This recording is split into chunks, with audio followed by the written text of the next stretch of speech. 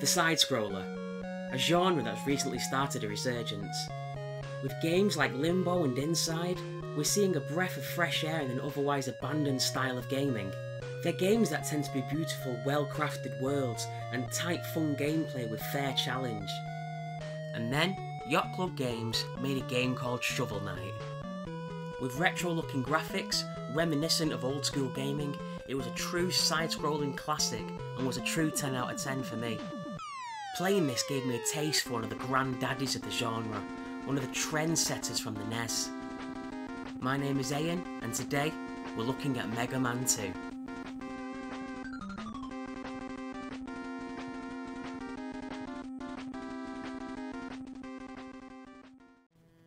Our story begins with our hero Mega Man enjoying the short-lived peace from the previous game. When surprise surprise, Dr. Wily, back with 8 robot masters and an army of mechanical soldiers, wants to defeat Mega Man. So, Dr. Light, Mega Man's creator and seasonal shopping centre Santa, sends Mega Man to take down Wily once again. The story is quite simple, but it's enough to drive you forward in the game. Let me walk you through the controls. They're a bit tricky, but stick with me on this. You can jump, and you shoot. That's it.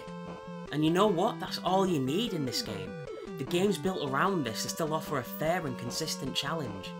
Jumping puzzles, side-scrolling movement, enemy encounters, all can be taken on with these tight controls. It follows the old adage of easy to learn but a lifetime to master. These older NES games needed tight controls. They were usually as hard as nails to increase the longevity of the game. Plus, you had a controller with two buttons, so overcomplicated movesets weren't on the table. But simplicity doesn't detract anything from the game. It's still a really fun adventure that you can pick up and play at any time without a steep initial learning curve. The game was released in 1988, and it's still being bought and played today, so that says it all, it's a solid, fun experience. The visuals in this game are timeless, boasting strong use of colour, maximising the capabilities of the NES at the time. Even the colour scheme of Mega Man himself is due to the NES's usable colours, as the console had more usable blues in the palette, so it gave him the most detailed sprite. The main staple of the Mega Man series are the bosses, the Robot Masters. These powerhouses are at the end of each stage, and must be defeated to advance. We have Metal Man who throws razor sharp discs, Woodman who creates a shield of leaves and launches it as a weapon, Airman uses mini tornadoes, Flashman can freeze time, Quickman can throw boomerangs, Crashman throws bombs, Heatman throws pillars of fire, and finally the ultimate robot master, Bubbleman, who can throw bubbles. These robots were designed with the hope of defeating Mega Man, each with their own special abilities and fighting styles. They are a fun and exciting challenge to the end of each level. They are the cherry on top for this adventure. Each design is iconic and perfectly encapsulates the challenge of the game. And with challenge comes reward. After you defeat a robot master, you gain their ability. I like this in games. Challenge and reward. After each boss you become stronger, and are able to take on more bosses. The ability system in this game works a lot like rock, paper, scissors. Once you gain a new weapon, this will do more damage to someone else.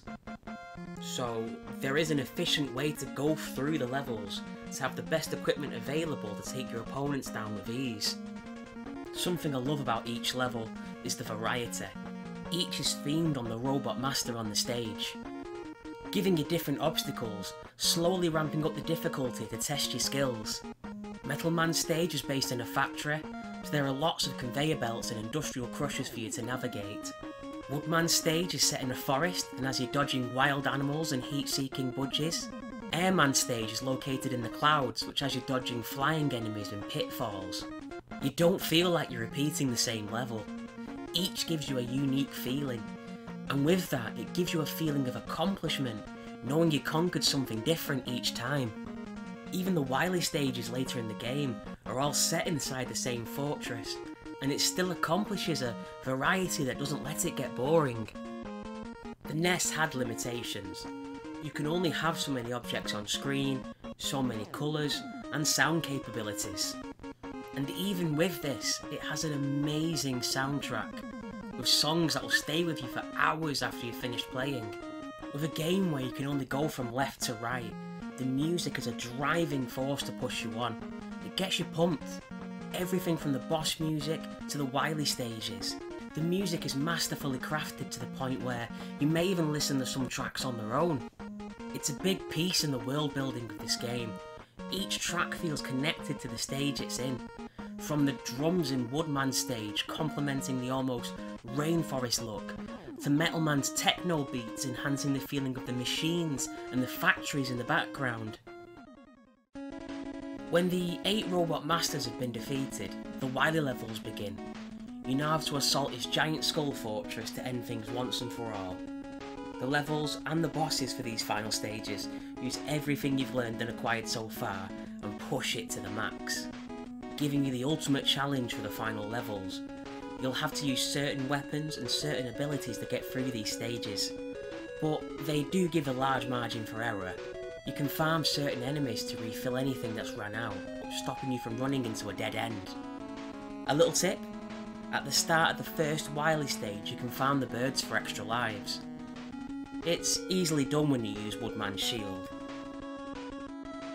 The first boss for these stages is Mecha Dragon, where you need to balance dodging attacks and avoiding pitfalls, to actually dealing damage, which is more restricting than the standard boss. Knowing you can die without even taking damage adds a stress level that can get to you. And it definitely got to me. I think I died on this boss more than any others, even the final one. Next being Pico Pico Kun, a robot that comes out in the walls in two halves, fuses together and starts its attack. It's a tricky boss as one of the best weapons against him is Bubble, and you need to get up close and personal with it. Meaning you can sometimes just take damage from Pico Pico moving. So keep moving when he's formed, and then stick to the middle so you don't get hit by his new body reforming. Guts Dozer is huge, and hits hard. The best thing to do with him is to have full health and shoot him non-stop with your standard weapon. It's a brawl, and hopefully you'll come out on top. The next would take a lot of trial and error if you didn't know going into it what to do. Boo Beam Trap can only be beaten using Crashman's weapon, Crash Bombs. You only have a certain number of shots and if you use them up, that's it. You need to die, grind for more Crash Bombs and try again. A good strategy is to blast away all the walls and then to die. And when you re-enter, you can go straight for the traps, making it a little bit easier. You can do it in one run, but I lack the skill. Now when these Goliaths have been taken down, you have a new challenge. You have to beat all 8 of the Robot Masters again. This sounds worse than it actually is. You now have all their weaknesses, meaning they drop rather quickly. Including Metal Man, whose weakness is his own ability. He drops in one hit. Wily is the final boss, and I hope you save those E-tanks throughout, as he's quite a challenge and unless your skills are godlike, you're going to take a beating. Hit him with everything you have, but save Bubble for his final form. I find the bosses one of the most exciting parts of the game. The designs, the music, the feeling of entering one of their arenas, they are truly iconic and it's a theme that has continued in each subsequent Mega Man going forward. If the formula ain't broke, why fix it? These old NES games are not impossible, they just take a bit of willpower to get past some of the grittier parts. I would class this as a challenge. It has some maddening parts, and I'll admit I lost my patience on more than a few select bits. But it's down to my own skill that I died. This game is definitely worth playing, it's a simple and fun experience, and you don't need to dig out your old NES to play it. There was recently a release of the Mega Man Legacy for all consoles, meaning you can play this in its crisp 8-bit glory. It's not a long game, but it will stay with you for a long time. The excellent soundtrack, the theming in the levels, and the feeling of accomplishment when you finally conquer this game. It's why I recommend today that this game should be placed on your to-do list. It's an experience and example that a game doesn't need next gen graphics and gimmicks to be a memorable and fantastic game to play.